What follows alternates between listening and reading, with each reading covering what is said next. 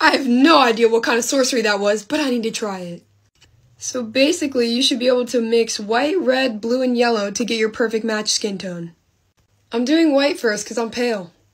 I don't know when I'm supposed to stop. I look like I have pimple cream on. Now I'm going to do some yellow. I don't want to look like a Simpson, so that's probably good. I don't want to put too much red on my face or TikTok might flag me for sensitive content. I don't know if I'm supposed to use dark blue or light blue, so we're just to go with this. I don't even understand where the blue is coming from. I just realized I didn't do my nose, under eyes, or mustache. I just literally don't understand how this could work. Okay, I think that that looks good. I, I just don't understand how, how this is gonna turn into skin color. I ran out of time, but come back for part two. I'm gonna blend it. I'm gonna see if this really works.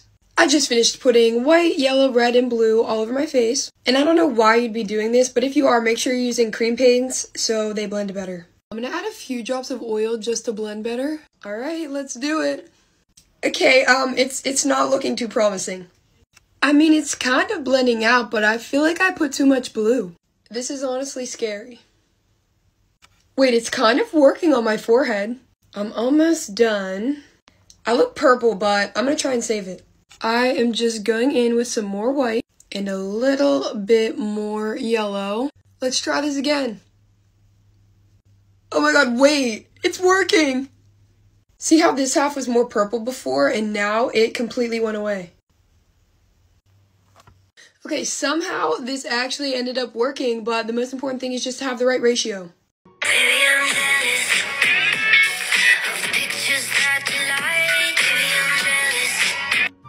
Be trying that eyebrow hack.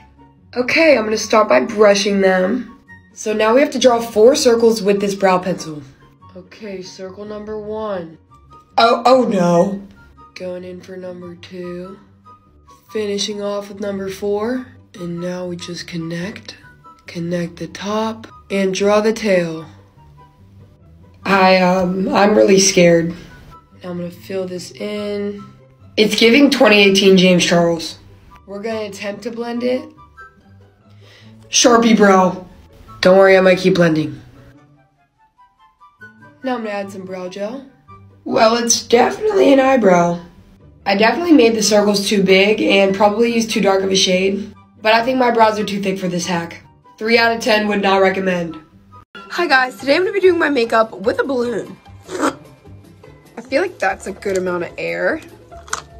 Never mind, that one had a hole in it, so we're gonna use a blue one. Okay, so I'm just dipping in on the back of my hand. Please tell me you can hear this. Now I'm just gonna go in on the other side. It's actually blending out really nicely. Now I'm gonna add some concealer. Really hard for me to get under my eye. Ugh. Other than the slight anxiety that I have about this popping on my face, I think it's going pretty well. So a beauty blender ends up absorbing a lot of your makeup, so you're wasting money in the long run. But I like about the balloon is everything that I put on it got used. Hey guys, today I'm going to be showing you some of my favorite makeup hacks using household appliances. The first hack is a substitute for primer. You can use any toothpaste as long as it's not gel and make sure the second inactive ingredient is sorbitol. The next hack is to help you apply your foundation as even as possible. You're going to take a tissue and split it into two layers and apply your foundation to the center of the tissue to make a circle. You're next going to grab a blow dryer and secure that around the blow dryer with a hair tie. Now you're going to turn it on to a low, cool setting and it will blow the foundation onto your skin flawlessly. The next hack is to apply your setting powder. So what you're going to want to do is put your setting powder into the lid and grab a sifter. You're going to take that second layer of the tissue that you already had and put that inside. Next, empty the powder into that and when you tap it, it should look like this. And so you're just going to want to tap that all over your face to apply it evenly. Now moving on to the brows, you're going to take some sugar-free maple syrup or if you want a stronger hold, you can use regular. Apply that to a spoolie and there you go. Hi guys, here's part two of makeup hacks using household appliances. So we're starting out with a contour bronzer hack and I'm using Hershey's cocoa powder. You're going to want to apply that with your finger to your cheekbone, jawline, and temple. Using a jade roller or any type of facial roller, you're going to want to blend that in. Now that we're all contoured, we're going to move on to an eyeshadow hack. You're gonna wanna take one of these triangular disposable sponges you can get at any drugstore, and you're gonna start blending your eyeshadow onto that sponge, but make sure it is backwards because when you turn it around onto your eye, it is gonna be the opposite direction. So you just take the sponge, press that on, and there you go. Moving on to an eyeliner hack, the end of the felt tip liner is not what we're going for today. So if you have a dart laying around your house, you're just going to want to apply your liquid eyeliner to that for the most precise line. Next up is our mascara. A lot of people just use the wand that comes with mascara, but you want to use a q-tip so you can get the most product as possible. Finally, our setting spray. A lot of people don't know that you have to cure your setting spray with a light from your iPhone. The benefits of an ice globe facial massage. I bought them, so we're gonna see how it works. I just opened them up and this is what they look like. They also came with a little cleansing sponge. So it says I have to put them in the freezer for about 10 minutes before I can use them. Ah! I'll be back in 10. Okay, it's been 10 and they are freezing cold. So I think you just hold them by the little stand and just... It actually feels so good. I really like it on the under eyes. I feel like it's taking away puffiness.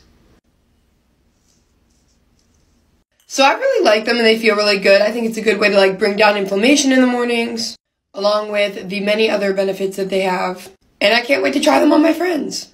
9 out of 10 and I do recommend. You need to start doing your makeup like this. I know you. We're gonna try it and see if it looks cute. I just woke up y'all and I look busted. Putting on some primer.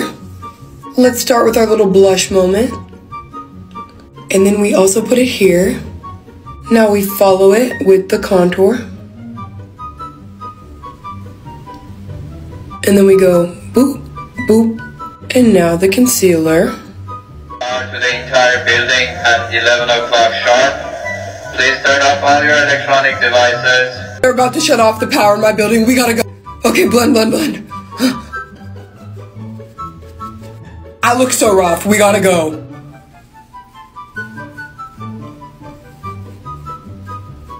Get the forehead. I mean, it's not terrible. I just feel like these are weird places to contour your face. Probably won't do it again, like 6 out of 10.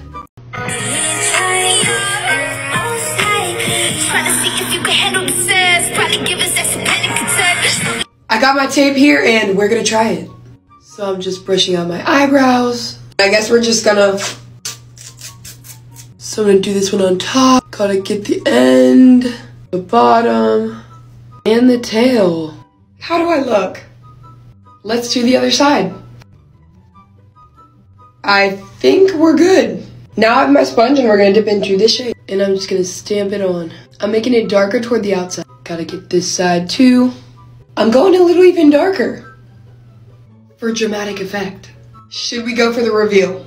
Here we go. Stop, why does she look so crispy? In the best way.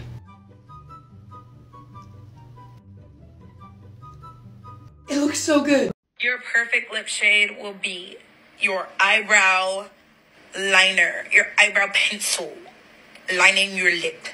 And then whatever you use for blush on the middle of your lip. I have to try this.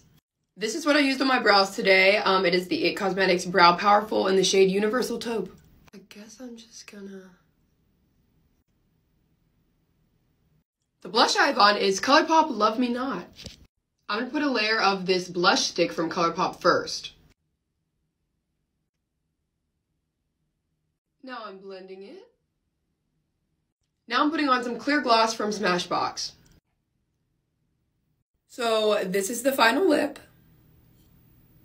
Let me know what you guys think. Is it my perfect lip shade? Okay, so y'all want realistic fake freckles? I got you.